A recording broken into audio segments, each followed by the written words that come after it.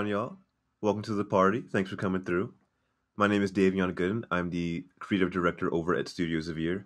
And today we're going to talk about how my newbie solo self somehow landed on Xbox Game Pass. Still not really sure how that happened, but I have a few very educated guesses. So that's what we're going to talk about today. But uh, first off, as a little brief disclaimer, I'm just speaking from my own personal experiences. Yours might be very different. And I'm still figuring out this whole thing because video games are weird. Um, I'll also be talking a lot about Xbox Game Pass, but all the advice I'm giving still applies to like any type of platform holder talks or just any company negotiation or relationship in general. Uh, so with that out of the way, little context about myself. Uh, I'm a 22 year old Cleveland-based developer.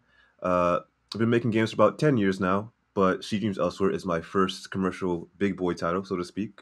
Uh, I've also worked in film, directing, screenwriting, photography, and just all types of weird, creative DIY stuff in general. Uh, as for She Dreams Elsewhere itself, it's a surreal adventure RPG. You're playing as a woman named Thalia, and you're in a coma. And you got to figure out how you got in a coma, find a way to wake up, confront your own inner nightmares, and have a horrible trippy experience throughout the entire way. Um, so I'm a little bit biased. I think it looks pretty cool, sounds pretty cool, but it definitely didn't start out like that at first. Um, so flashback to four and a half years ago when I first started development. Uh, I was a wee young lad in my senior year of high school, uh, and I was like, "Hey, I want to make this big game, and I think I can finish it in five months." While also being a senior and making a feature film for my senior project, so needless to say, that didn't work out. But hey, you know, we'll get there. But still, I knew that if I wanted some metric of success, I had to get the word out there somehow while having no money or resources of my own, as one does while being a broke high schooler. Um, so as you can see, when the game first started out, out in development, uh, it was a lot more colorful and cartoony, but also a bit like rough, unpolished, and a little bit generic, if I'm being totally honest. Uh, but still, I was like, gotta get the word out there somehow, and I gotta get on Steam. So I posted the game on Steam Greenlight when it was so active back in the day, and the results were uh, not too hot. Um, there were some good comments here and there, but a lot of it was pretty negative. Uh, a lot of it justifiably so. Um, and it was a real shocker to me because I had never, I had never like posted any of my games on a, such a big mainstream site, such a wide audience. Um, so yeah, it, it, was rough at first, but still, in my eyes, feedback is still feedback. So I took it. Um, and what I really ended up realizing is that the game really didn't have its own unique personality yet. Uh, and the audience reacted to that. And it made me realize that I really had to do a lot better with the game itself, but I also had to do a lot better when it came to games marketing and doing a better job of communicating the game, my vision to potential players. Um, so I kept at the game, kept developing it throughout the next few years. Um, get the cool black and white aesthetic purely by accident one day, uh, so that was fun. So yeah, as the game uh, development progressed uh, and I grew as a person, the game grew too, and eventually it found its own unique voice and became something that was actually worth paying attention to.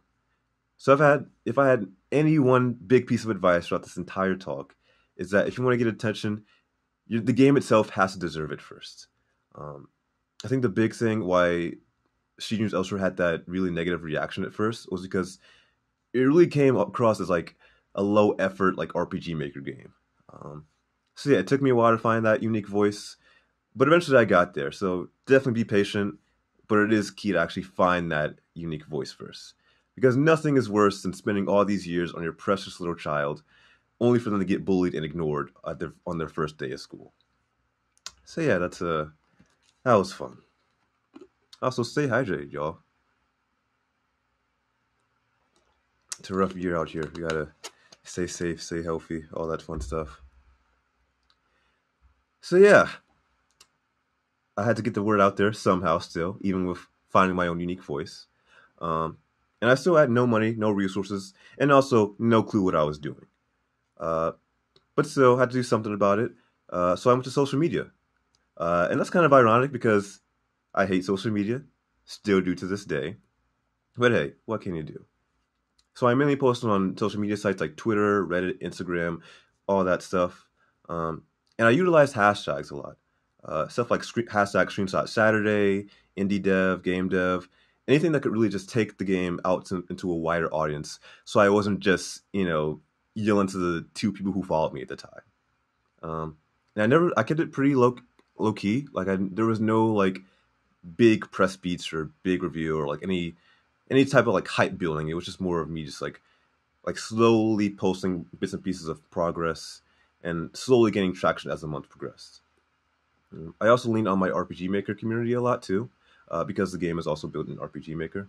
Um, and they were great both for just support and advice and tips, but also for just having that small initial group of like first adopters who really championed the game in the years to come. So yeah, after I found my again unique voice, so to speak, uh, I officially announced it in summer 2018 with the nice little teaser trailer and the uh, launch of the Steam page. Which uh, another pro tip if you're using Steam, get your page up as soon as possible. Definitely get that sweet wishlist action going.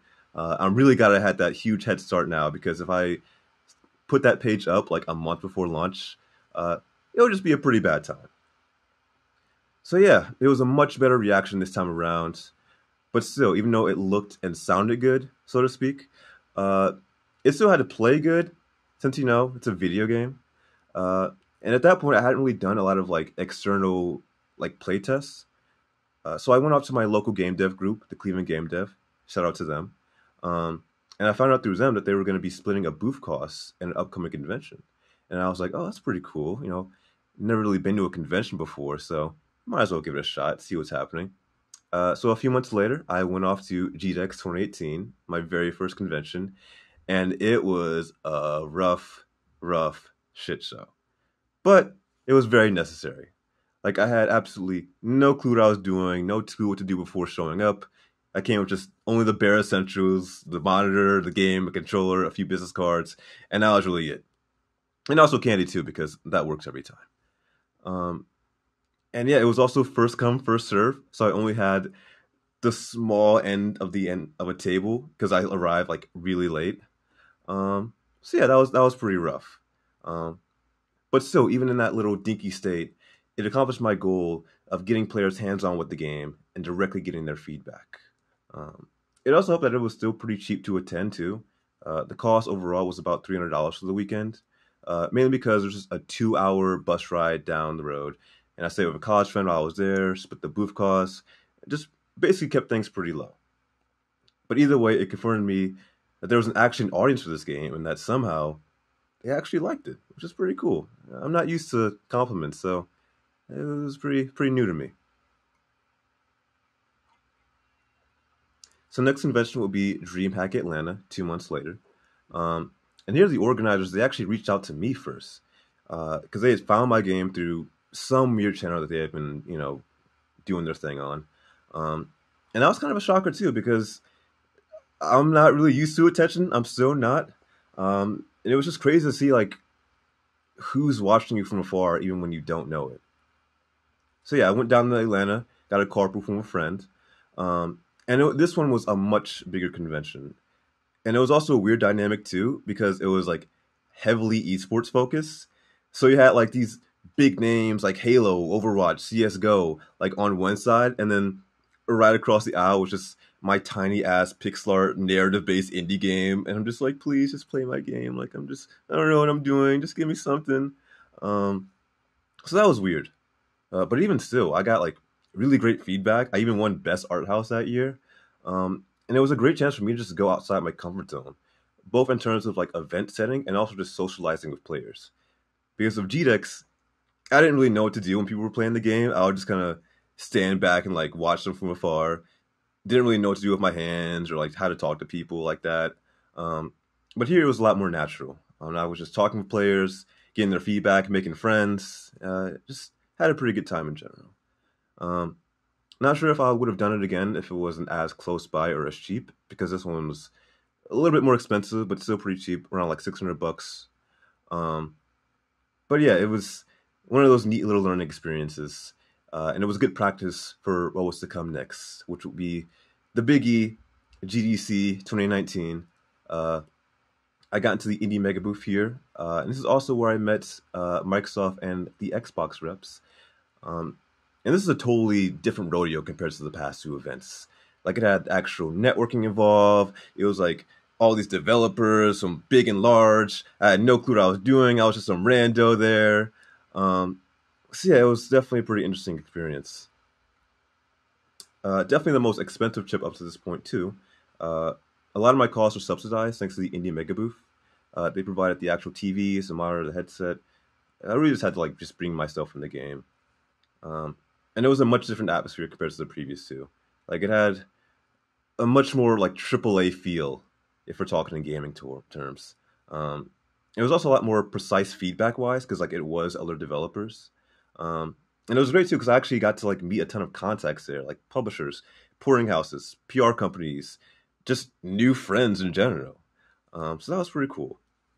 So I started off the game for the first two days there, and the rest of the week was just free for me to just do whatever I wanted to and just make as many connections as possible. Um, and that's kind of a toughie because at that point I was cool and comfortable like just showing off the game itself. But when it came to actually like networking separately, I was like, I have no clue what I'm doing.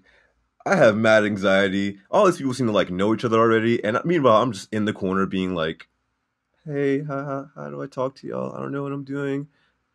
Help!" Um, but somehow we made it happen. But yeah, uh, here's a very brief guide to networking, how I did it. Um, well, first off, just remember that you're always networking, even when you don't realize it. Like the way you present yourself, the way you talk to other people, the word that gets around about you, you're always pitching and you're always networking, no matter what you're doing.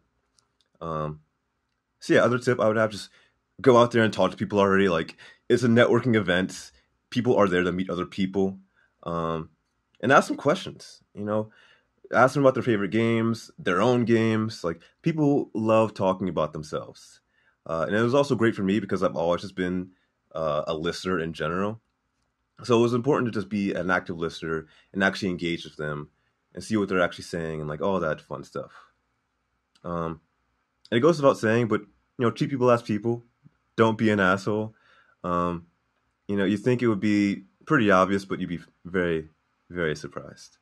Um, but yeah, definitely go into like any of these relationships, business or otherwise. Just trying to trying to make a friend first and foremost. At least that's how I'd always do it. Um, and definitely don't be afraid to like reach out to like other friends or contacts to like help you make those conventions. You know, have them go out with you, like when it's safe to do so. Um, have them introduce you to other people, just all that fun stuff. Um, master the art of following up. Uh, if you are looking for something, give them a way to contact you. Don't waste your time. It's very clear when someone wants something and it's just waiting for that time to just slip in and just set that bomb off. So, yeah, this is very, very brief guide. Uh, if you want a much bigger and much better and much more fleshed out guide, uh, definitely check out Victoria Tran's An Introvert's Guide to Networking article uh, because it's great and she's great. Um, and yeah, so as you can see in the picture, it was my first time meeting Xbox and that whole uh, rep over there. Um, and yeah, when it came to actually like getting on Xbox and talking to them, I didn't really know what I was doing. I didn't really know how the whole process went. Um, so it was really good to have like a rep there in person to kind of like walk me through step by step, just to like see how to get those initial steps started. So we kept in contact throughout the coming months. Uh, we met in person again during the Game Devs of Color Expo, another great expo because it was a very targeted, very niche event. So I was able to directly connect with my target audience. And uh, so Xbox was a sponsor there. So we got there in person together, and I received word that they were going to be having a little open house uh, before PAX West next month. Uh, and I had never been to PAX West, never been to Seattle. Uh, so I was like, hey, like, you know, you know, definitely consider me if you want to. Let's just keep in touch. You know, keeping it pretty casual. Um, but eventually, I was formally offered a spot at the show, and I made my way off to Seattle. Uh, the open house itself went really well, if not pretty overwhelming. It was directly like on their main campus, and again, still having lo- no clue what I was doing, which is there at the game. But again, at this point, I was still pretty comfortable, like showing it off, having like learned those lessons in the past, like few events. Um, and one of the perks of showcasing there was I got a free entry to the first day of PAX, but uh, didn't have a pass for the rest of the weekend until another contact hooked me up. Shout out Jen. But even with that free pass, you know, I had no permanent booth, no way to actually show off my game other than a few uh, scattered events here and there. But I was like, hey, I'm still at PAX. My audience is here. Like, I still want to show off the game somehow. So with that, my phone and Instagram became an absolute godsend. My Instagram page is essentially a little mini portfolio of the game itself. So I'd walk around with that, show it to people casually, of course, like not just you know having it out, you know, showing my game everywhere. Um, and yeah, I just use it as an opportunity to casually connect with other devs and people within the industry. So after the ID Xbox open house, I received a few few hints that I was going to get a Game Pass deal, but I didn't really know what that meant and what that like involved. Um, but it was like formally offered in early October 2019, um, and it was pretty huge. Like, it's still the biggest financial deal like I've ever gotten, like ever, to the point where I had to ask them to like repeat the numbers that I got uh, over on our phone call. Um, and while I can't go into specifics, uh, I was given upfront support in addition to the rest of the actual like licensing fee. Uh, and it was really cool because at that up until that point, I had just been bootstrapping. Like the game was just funded out of pocket just through videography gigs and other just random one-off hustles. Um, and I was also doing publisher negotiations at the time too. And the Game Pass deal allowed me to fund the rest of the game, make it profitable, and still do everything I wanted to do with a publisher without even having to get a publisher. So yeah, it was a pretty big deal. But if a big number like that comes certain challenges. And that's where we get into the fun, boring, complicated legal fun time bit. What joy, what joy.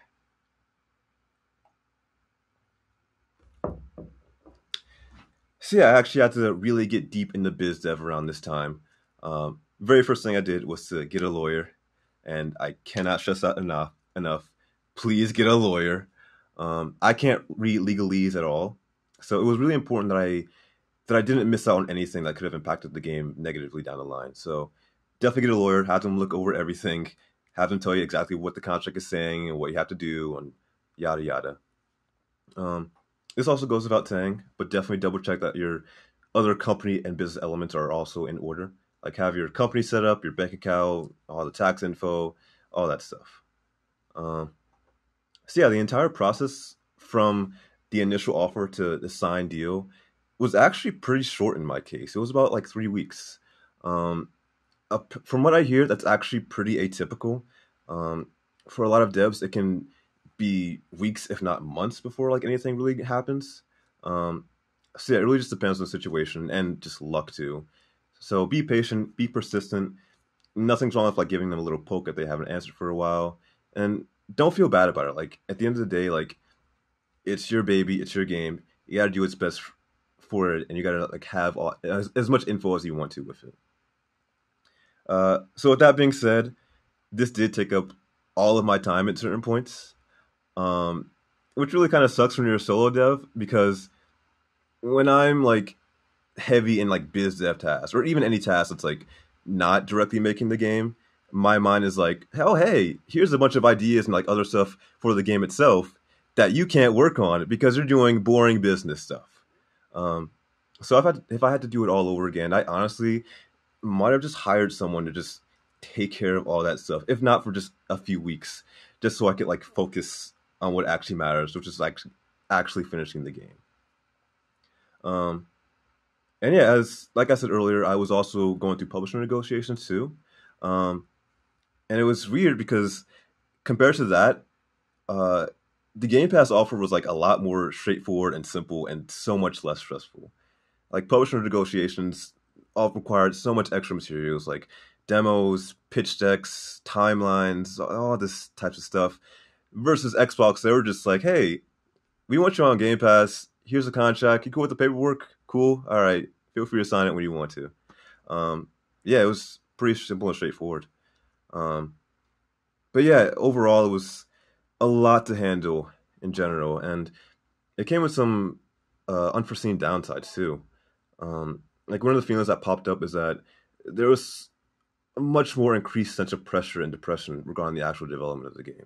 Like I often felt like I wasn't even good enough to be a developer, let, let alone to be on Game Pass or even or anywhere else. and that I would let everyone down. I would get exposed for being a fake developer or all that stuff. Yeah, imposter syndrome. It's uh, it's not fun, but that's a whole that's a whole other separate talk where you get into. Um, I was also pretty burnt out burnt out at the time too because I was doing so much traveling and promo and all this other stuff unrelated to the actual game and I didn't really have a good balance of you know actual development and biz dev, PR, and actually taking care of myself, which is like the most important part of anything. Um, and because of everything surrounding the deal, uh, I didn't really have much time to actually decompress myself and just chill out for once. Um, especially since uh, X19 was coming up in the next month that I had to prep for separately. So yeah, wasn't really having a very fun time.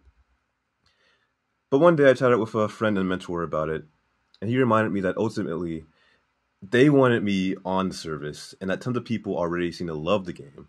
So clearly I was doing something right. I don't know. Um, I always just think negatively about just myself and everything that I'm going through.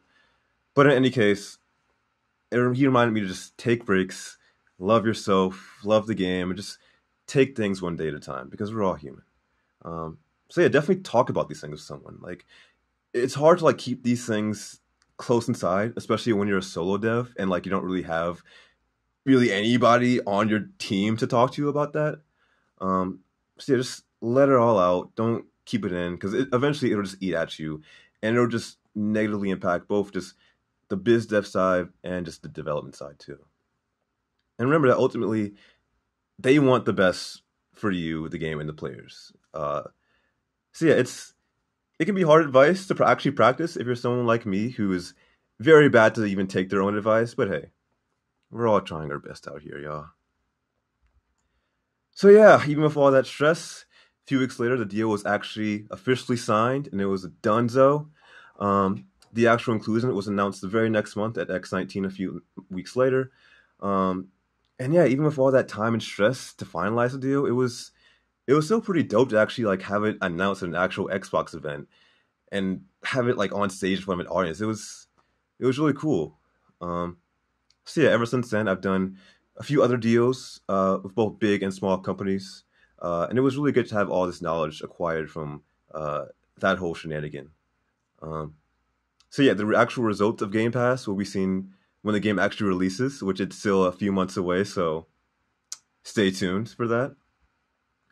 But yeah, what did we learn today? Um, so yeah, definitely have a project that's actually worth the attention first and foremost. Uh, remember that you're always pitching, even if you don't know it. Like you never know who's like in the corner just watching you from afar, and you never know who actually knows about your game. Um, treat your contacts as people first. Um, you know, check in with them, not just to like see like any progress on like an actual biz dev front, but like, hey, like, how are you doing? How are the kids? How's your mental health? Especially in uh, the year of COVID, uh, especially important just remember that human element and just treat people as people first. Um, and find and embrace those champions of your game. Uh, like I said earlier, like having that small RPG maker community first that could champion the game to like this other uh, to my target audience first and foremost was dope. But it also applies to just you know platform holders in general. Like there were a lot of people within the ID at Xbox team that like knew about the game and were just like you know hustling about it like talking about it like within their internal meetings uh, so i think that was really important to like keep up that relationship and just really just like embrace them. Um, be proactive about any opportunities coming up.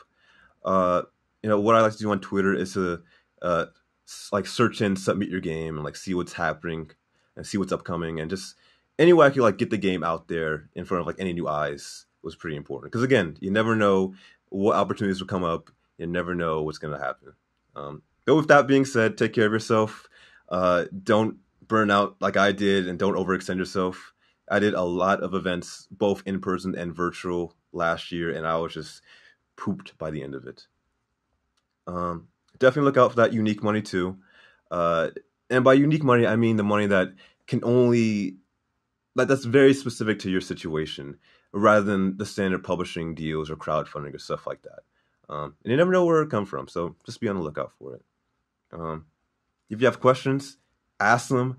Ask for help. Ask for tips and advice. Um, as my nana once said, rest in peace. Uh, closed mouths don't get fed. So open your mouth and speak up. Um, and honestly, sometimes a lot of it was just luck, and some of it was like unluckiness too. Um, I would never like I never would have even gotten this deal if you know the one Microsoft rep actually came by my booth when I was at uh, GDC last year. So you never really know. It just it takes weird stuff like that happening. Um, and again, be patient and, persp- and persistent. It's a marathon, not a sprint. Take care of yourself. Take things one day at a time. Uh, and like these business deals and stuff like that, they don't happen overnight. So just keep it chill. Uh, be patient. And again, and I can't stress this enough, remember the human element of it all. Because again, we're all trying our best out here. Um, so yeah, that's my weird little story about Xbox Game Pass and how I somehow went from being a scrappy, dinky little a one man show to being a slightly bigger but still one man show, and still having no, no clue what I'm really doing. Uh, so yeah, game will be coming out pretty soon. I hope it does well. Uh, but yeah, I guess we'll cross that bridge when we come to it. Uh, but for right now, I got a game to get back to. Uh, so yeah, thanks for coming to my talk. Well, coming to my talk, watching my talk, really. Uh, have a good one. Stay safe out there. Wear your mask and uh, be excellent to each other. Have a good one.